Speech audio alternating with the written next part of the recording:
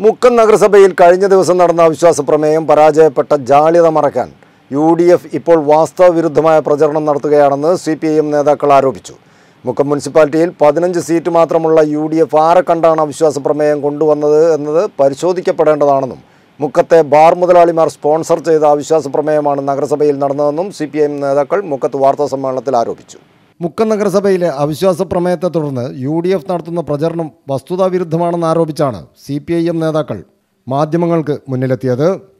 നഗരസഭയിൽ ആകെയുള്ള മുപ്പത്തിമൂന്ന് മെമ്പർമാരിൽ യു ഡി എഫിന് പതിനേഴ് മെമ്പർമാരുടെ വ്യക്തമായ ഭൂരിപക്ഷമില്ലാത്ത അവസ്ഥയിൽ പതിനഞ്ച് സീറ്റ് മാത്രമുള്ള യു ഡി എഫ് ആരെ കണ്ടാണ് അവിശ്വാസ പ്രമേയം കൊണ്ടുവന്നതെന്ന് പരിശോധിക്കപ്പെടേണ്ടതാണെന്ന് സി പി ഐ എം നേതാക്കൾ വാർത്താസമ്മേളനത്തിൽ ആവശ്യപ്പെട്ടു.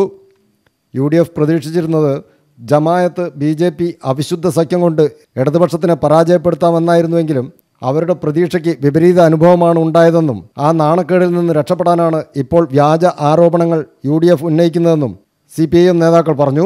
ചെയർമാൻ വൈസ് ചെയർമാൻ തെരഞ്ഞെടുപ്പിൽ ഭൂരിപക്ഷം തെളിയിക്കാൻ യു ഡി എഫിന് സാധിച്ചിട്ടില്ലെന്നും സ്വന്തം വോട്ടുകൾ പോലും ഉറപ്പിക്കാൻ യു ഡി എഫിനായിട്ടില്ലെന്നും മുമ്പും അവിശ്വാസം നടന്നപ്പോൾ ബി ജെ പി അംഗങ്ങൾ വോട്ടെടുപ്പിൽ നിന്ന് വിട്ടുനിൽക്കുന്ന സാഹചര്യമാണ് ഉണ്ടായിരുന്നതെന്നും അതേ നില ഇപ്പോഴും തുടർന്നു എന്നാണ് മനസ്സിലാക്കുന്നതെന്നും സി പി ഐ എം നേതാക്കൾ പറഞ്ഞു. പതിനേഴാണ് കേവല ഭൂരിപക്ഷം മുപ്പത്തിമൂന്നാണ് ആകെ. എന്നാൽ ഈ പതിനേഴിൽ പതിനഞ്ച് സീറ്റാണ് ഇടതുപക്ഷ മുന്നണിയുടെ സ്ഥാനാർത്ഥികൾക്ക് ലഭിച്ചത്. ഒരു സീറ്റ് ഇടതുപക്ഷ മുന്നണി പിന്തുണയ്ക്കുന്ന ലീഗ് വിമതൻ അബ്ദുൽ മജീദ് എന്ന് പറഞ്ഞ ആൾ ജയിച്ചു. ഞങ്ങളുടെ സ്ഥാനാർത്ഥിയെ പിൻവലിച്ച് തെരഞ്ഞെടുപ്പ് നടക്കുന്നതിനിടയിൽ അദ്ദേഹത്തിന് ഞങ്ങൾ പിന്തുണ കൊടുക്കുകയാണ് ചെയ്തത്.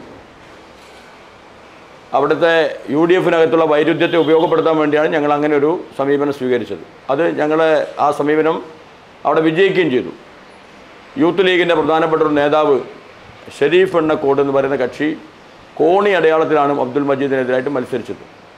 ആ മജീദിനെ ഞങ്ങളുടെ സഖാക്കളും ഇടതുപക്ഷക്കാരും തെരഞ്ഞെടുപ്പ് വിജയിക്കുന്നതുവരെ ആത്മാർത്ഥമായി അദ്ദേഹത്തിനോടൊപ്പം ഉണ്ടായിരുന്നു. അപ്പുറത്ത് യു ഡി എഫ് ചേരിയിലാണെങ്കിൽ ജമായത്തെ ഇസ്ലാമിയും യു ഡി എഫും തമ്മിലുള്ള അസാധാരണമായ ഒരു സഖ്യമാണ് അവിടെ ഉണ്ടായിരുന്നത്. അവിശുദ്ധ സഖ്യം എന്നാണ് ഞങ്ങൾ പറയുന്നത്. അവർക്ക് സംസ്ഥാന അടിസ്ഥാനത്തൊന്നും സഖ്യമൊന്നുമില്ല ഇവിടെ മാത്രം ഉണ്ടാക്കിയ ഒരു സഖ്യമാണ് അങ്ങനെ ജമാഅത്തെ ഇസ്ലാമിയുടെ സർപ്പം പോലത്തെ മൂന്നാളുകൾ ജയിച്ചു. പന്ത്രണ്ട് യു ഡി എഫുകാരും ജയിച്ചു. അങ്ങനെ പന്ത്രണ്ട് മൂന്ന് പതിനഞ്ച് അവർക്കുണ്ട്. രണ്ട് ബി ജെ പി കൗൺസിലർമാരും ജയിക്കേണ്ടായി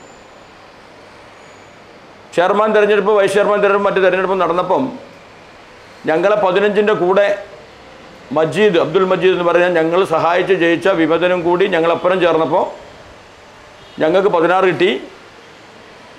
ജമാഅത്ത് യു ഡി എഫ് സഖ്യത്തിന് പതിനഞ്ച് കിട്ടി. രണ്ട് പേര് വിട്ടു നിന്നു. രണ്ട് പേര് എന്ന് പറഞ്ഞാൽ ബി ജെ പിയാണ് ബീവറേജ് അനുവദിച്ചത് എക്സൈസ് ഡിപ്പാർട്ട്മെന്റും സർക്കാരുമാണ്. മുനിസിപ്പാലിറ്റിക്ക് ഇതിൽ പ്രത്യേകിച്ച് റോളൊന്നുമില്ലെന്നും. എന്നിട്ടും എൽ ഡി എഫ് നേതൃത്വത്തിലുള്ള മുനിസിപ്പാലിറ്റി ഭരണസമിതിയെ ആക്ഷേപിക്കുന്നത് ശരിയല്ലെന്നും നേതാക്കൾ കൂട്ടിച്ചേർത്തു. യു ഡി എഫിന്റെ അവിശ്വാസ പ്രമേയം മുക്കത്തെ ബാർ ഉടമകളുടെ സ്പോൺസേഡ് പരിപാടിയാണെന്നും ബീവറേജ് വരുന്നതിൽ മുക്കത്തെ ബാർ ഉടമകൾക്കുള്ള എതിർപ്പാണ് യു ഡി എഫ് ജമാഅത്തെ സഖ്യത്തിന്റെ പ്രവർത്തികളിലൂടെ പുറത്തു വന്നതെന്നും മുൻപും മുക്കത്ത് ബാർ വന്നപ്പോൾ അതിനെ അനുകൂലിച്ചവരാണ് യു ഡി എഫുകാരെന്നും സി പി എം നേതാക്കൾ കുറ്റപ്പെടുത്തി.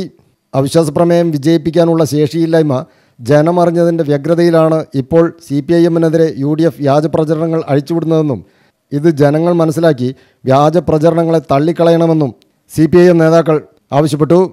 മുക്കത്ത് നടത്തിയ വാർത്താ സമ്മേളനത്തിൽ സി പി ഐ എം ജില്ലാ സെക്രട്ടേറിയറ്റ് അംഗം T Viswanathan area secretary V K Vinod area committee അംഗം ജോണി എടശ്ശേരി തുടങ്ങിയവർ സംബന്ധിച്ചു. News bureau Mukkam.